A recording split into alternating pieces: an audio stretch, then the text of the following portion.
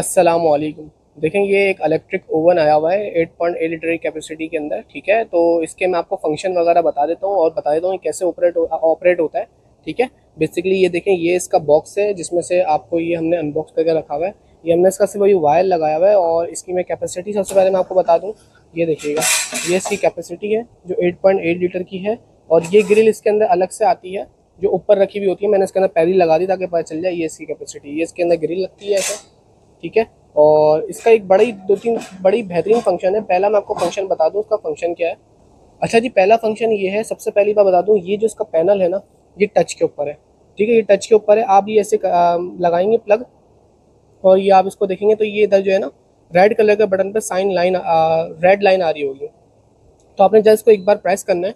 तो एक बार प्रेस करेंगे तो इसमें जो है डिफरेंट फ़ंक्शन के वो ऑन हो जाएँगे। कि आपको ये टाइमर का आ गया इसका ये टाइमर है? मतलब आपको अगर टाइमर बढ़ाना है तो देखिए, मैं ये आप देख रहे होंगे तो ये बढ़ रहा है। ठीक है आपको अगर टाइम घटाना है तो ये आप सिर्फ़ टच करेंगे टाइम घटेगा। अब आपको केक बनाना है तो ये केक के ऊपर आ जाएगा। और जब केक बनाना हो आपको केक के ऊपर कर देंगे तो देखें आप ये जो है फ्लैश कर रहा है।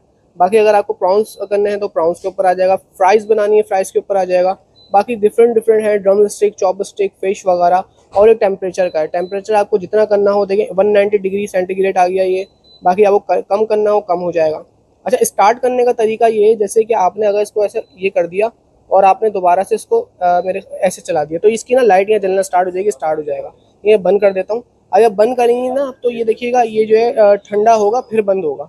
लाइट जलती रहेगी देखें फ़ैन चल रहा है कूलिंग फ़ैन और बंद हो जाएगा। एमरजेंसी अगर बंद करना हो जैसे ही आप ये निकालेंगे ना इसको तो ये ऑटोमेटिकली बंद हो जाएगा। ये इसका बड़ा प्यारा फ़ंक्शन है कि अगर फॉर एग्ज़ाम्पल ये अगर एकदम से आप इसको निकाल देते हैं तो ये ऑटोमेटिकली बंद हो जाता है। तो ये इसका बड़ा प्यारा सा फ़ंक्शन है और बहुत प्यारा सा ये है इलेक्ट्रिक स्टोव है, जो मैंने आपको अनबॉक्स करके दिखा दिया फ़ंक्शन वगैरह समझा दिए। एट पॉइंट लीटर की कैपेसिटी के अंदर है। बाकी आप लोग जो है वीडियो के अंदर देख लीजिएगा जजाकल्ला